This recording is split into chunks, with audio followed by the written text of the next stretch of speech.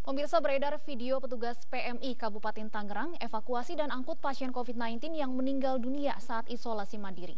Korban kemudian dibawa ke tempat pemulasaran jenazah RSUD Balaraja untuk dimandikan.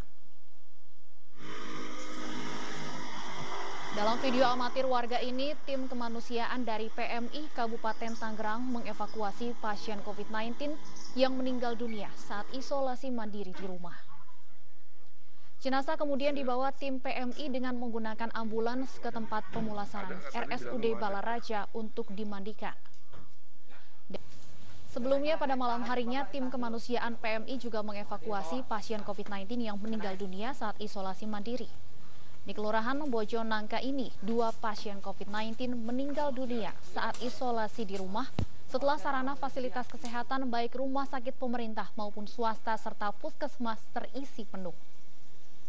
Sementara itu data di Satgas COVID-19 Kabupaten Tangerang saat ini sudah lebih dari 287 warga dimakamkan di pemakaman khusus COVID-19 TPU Buni Ayu Sukamulya Kabupaten Tangerang.